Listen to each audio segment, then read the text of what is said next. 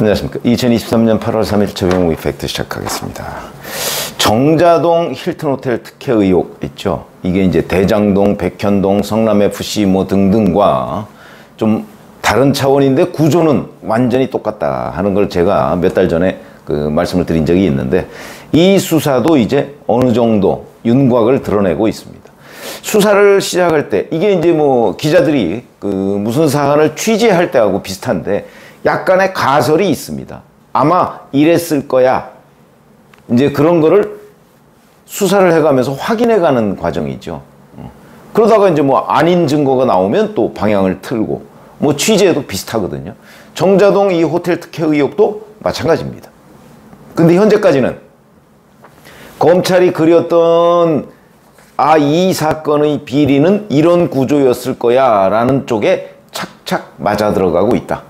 그거는 뭐 처음에 그 구조를 상상했던 것이 정말 탁월한 그 기획이었을 수도 있고 아니면 실제 이건 너무나 뻔한 거기 때문에 그쪽으로 확인돼 가는 과정을 지금 밟고 있는 거다 이렇게 볼 수도 있습니다. 자, 성남지청에서 수사 중이죠. 유동규 전 성남도시개발공사 기획본부장한테서 바로 이 정자동 호텔 특혜 의혹과 관련한 진술을 받았는데 유동규 전 본부장이 이렇게 얘기했다는 겁니다. 정진상 전 실장이 직접 성남도시개발공사 연구 용역 등을 황성택 대표한테 챙겨주라고 지시했다. 몰아주라고 지시했다 이거죠. 둘은 황성택, 정진상 68년생 친구 사이로 가깝고 실제 수의계약에 따른 연구 용역 등 3건을 챙겨줬다 이런 취지의 진술을 했다고 합니다.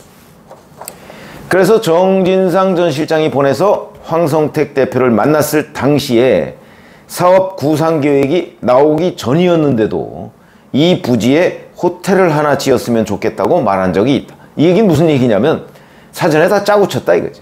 정진상, 황성택. 자기는 뭔지도 모르고 황성택을 만나러 갔는데 황성택이라는 사람이 얘기하는 거 보니까 이미 거기에 땅을 빌려서 호텔을 짓고 뭐 하는 것까지도 쭉 얘기를 하더라. 근데 정진상 전 실장이 그 호텔 짓고 하는 그 뭐 설계나 뭐 이런 거에 대한 용역, 그 타당성 뭐 이런 거를 그 황성택 대표가 있는 그 회사로 몰아줘라. 이렇게 지시를 해서 몰아줬다. 이런 의미입니다. 자, 실제 그래서 유동규 전 본부장이 2013년과 2014년에 이제 이게 황성택 대표가 가지고 있는 그 회사가 PMG 플랜이라는 회사인데 원래 정자동 그 개발을 한 시행업자는 베지츠 종합개발이라는 데입니다. 거기에서도 황성택 대표가 사실상 뭐 오너 역할을 하고 그 다음에 그 계열사인 PMG 플랜 이거는 이제 뭐 설계 용역회사 뭐 이런 건데 여기에다가 유동규 전 본부장이 임대아파트 정책 과제 신흥동 임대아파트 사업 타당성 조사 백현 유원지 도시개발 사업 타당성 조사 이런 연구 용역 세 건을 몰아줬다. 이거는 PMG 플랜이라는 거와 베지츠 종합개발 이 그 정자동 힐튼 호텔 이 시행업자하고는 사실상 음, 같은 회사다 이렇게 보면 되고요. 그러면 이 황성택 대표라는 사람은 도대체 누구냐? 아까 뭐 68년생 친구다 이렇게 얘기했는데 성남 FC 사건에도 등장합니다. 그것 때문에 검찰 조사를 받은 적이 있거든요. 정진상 전 실장이 지시를 해서 차병원 쪽에 성남 FC 후원금을 중간 매개자로서 제안한 사람입니다. 그러니까 무슨 얘기냐면 정진상 전 실장이 부탁하니까 황성택 대표가 차병원에 가서 성남FC에 후원금을 좀 내달라. 이렇게 해서 성남의 차병원이 성남FC에다가 33억 원을 후원금을 냈죠. 물론 거기에 이제 대가 관계가 있죠. 그렇게 내고 중간에 그 대가로 15억 원을 이 황성택 대표가 챙긴 혐의. 와, 참 33억 후원금 내고 15억 원을 챙겼다. 그것도 참 대단하죠. 뭐 어디까지 사실인지는 모르겠으나 이 문제로 검찰의 수사를 받은 적이 있습니다. 자, 그런데 검찰이 뭐 이렇게 그냥 유동규 전 본부장만 덜렁 조사하고 만 게 아니고 이 이전에 이미 그 성남도시개발공사 그 직원들을 조사했다고 합니다. 거기서도 비슷한 취지의 진술을 받았기 때문에 그 윗선인 유동규 전 본부장 진술을 받은 거고요. 이렇게 되면 이제 유동규 진술까지 나왔으면 그 윗선은 누굽니까? 정진상이죠, 결국.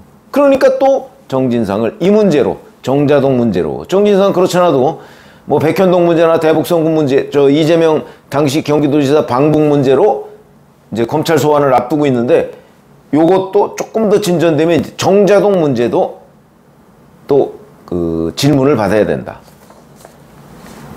동, 도시개발공사 실무 직원들 진술에 의하면 이런 거라는 거죠. 성남시에서 내려온 그 수의계약 지시문서 거기에 보면 이미 그 용역업체가 PMG 플랜으로 명시가 돼 있었다. 그래서 자기네들은 뭐 별다른 이의를 제기하지 않고 아 이거는 성남시 비서실, 성남시장 비서실 뜻이겠거니 라고 생각했다. 뭐 이런 식의 취지 진술을 쭉 했다는 거죠. 그러니까 자기들은 잘 모르지만 위에서 이미 내려왔을 때 용역은 어디다 맡겨라 하는 PMG 플랜이라는 게 다 명시가 돼 있었다는 거죠. 그러니까 자기들은 그냥 실무적으로 집행만 했다. 이런 진술을 했다는 겁니다. 자, 그러면 정자동 의혹이라는 거는 이거, 이것만 보면 얼핏 어, 그러면 정자동 의혹은 정진상 전 실장의 개인 비리 아니야? 이렇게 생각하기 쉽죠. 그런데 그렇지 않은 것이 검찰이 그리는 그림은 그거 아닙니다.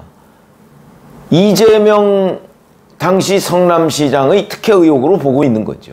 물론 그거는 앞으로 조사가 더 수사가 진척되면서 아마 약간 수정이 될 수도 있습니다. 그게 왜 그러냐면 지금 나온 이것만 보면 유동규 전 본부장은 정진상 전 실장을 통해서 지금 정대동과 관련한 뭐 뭘 특혜를 어떻게 주고 이런 얘기를 쭉 지금 진술을 했는데 그러면 정진상과 이재명 사이에는 아무것도 없냐? 정진상은 오로지 자기 친구인 황성택 대표라는 사람을 도와주기 위해서 응? 그 사람한테 몰아주려고 정진상 전 실장 개인 판단으로 한 거냐? 근데 그렇지 않은 정황이 굉장히 많습니다. 왜냐하면 이 정자동 호텔 특혜 의혹을 하는 그 문건이 있죠. 그 문건에 보면 이재명 시장이 결제하면서 뭐 임대료, 최저 임대료 뭐 이런 걸 직접 써 넣거든요. 이 저 결제를 하면서 거기다가 본인이 써 넣어요. 그럼 왜 최저 임대료 부분을 썼을까? 이런 부분을 이제 이재명과 정진상 사이에 사실은 나중에 이제 자칫 잘못하면 진실 공방이 벌어질 수도 있고 그 최저 임대료라는 의미가 뭐냐? 임대료를 싸게 받으라는 뜻이냐? 그런 것들도 이제 아마 지금 조사가 다 돼 있을 겁니다. 그래서 거기다가 왜 이게 이재명 성남시장의 비리로 검찰이 지금 보고 있냐면 이 베지츠 종합개발이라는 시행업자 그 거기에 뭐 일했던 사람들 중에 이재명 성남시장과 아주 잘 아는 사람도 있습니다. 과거 2007년에 정동영 캠프에 이재명 대표가 있었거든요. 그 정동영 캠프에서 같이 일했던 사람. 그 사람이 바로 이 베지츠 종합개발 관련 업무를 보고 있습니다. 그러면 과연 이 정자동 힐튼 호텔 특혜 의혹이라는 것은 이재명 성남시장이 바로 그 과거 정동영 캠프에 있던 사람 하고 짜고 그 사람을 봐주기 위해서 특혜를 준 거냐? 아니면 정진상 전 실장이 그 베지츠 종합개발이라는 거에 사실상 오너인 황성택 대표한테 특혜를 주기 위해서 이 사건을 벌인 것이냐? 그 두 가지가 혼재하죠 지금. 그 부분을 이제 검찰이 규명을 해야 되는데 지금 일단 정진상 황성택 요 네트워크까지는 검찰이 확인을 한 것으로 보이고 그러나 이제 앞으로 남은 거는 이재명과 이재명 대표와 그 정동영 캠프에 같이 있었던 그 사람의 관계. 그리고 이재명 대표의 결제 없이는 어차피 정진상 전 실장이 황성택 대표를 봐주기로 해도 최종 결제는 다 시장이 해야 되는 거거든요. 그러니까 시장한테 어떤 식으로든 설명을 했을 거라는 거죠 그걸 뭐 거짓으로 설명을 했든 어떻게 했든 아니면 자기 친구지만 친구가 아닌 것처럼 했든 어떻게 됐든 아니면 아예 톡 까놓고 이만저만해서 봐줘야 되겠다고 했든 아니면 거기에 시장님하고 과거 정동용 캠프에 있던 누가 있으니까 이건 어떻게 어떻게 해줘야 됩니다 라고 보고를 했든 여하튼 이재명, 정진상이 연루된 특혜 의혹- 의혹인 거는 틀림없다. 이게 백현동처럼요. 용도 변경, 수의 계약, 임대료 경감 특혜 뭐 그다음에 뭐 외국인 투자 유치법 뭐 이런 것 등등 해서 온갖 종류의 비리의 종합판입니다. 그렇기 때문에 지금 현재 이 단계로 보면 아마 그 검찰은 이재명 대표의 그 배임죄 중심으로 이제 일단 수사를 진행하고 있는 것으로 보이고 이게 궁극적으로는 대장동이나 백현동처럼 백현동도 아직 거기까지는 안 갔지만 비자금 저수지입니다. 이 정자동 호텔 특혜 의혹 이걸 가지고 그 베지츠 종합개발이나 이런 데가 또 수천억을 남겼을 텐데 그걸 과연 혼자 먹었을까요? 어떤 식으로든 대장동 428억처럼 뭔가 거기에도 저수지를 또 만들어놨을 개연성이 대단히 높다.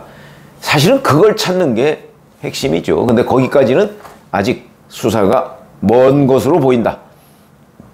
정자동 특혜 의혹은 이제 초기 단계는 조금 넘었다.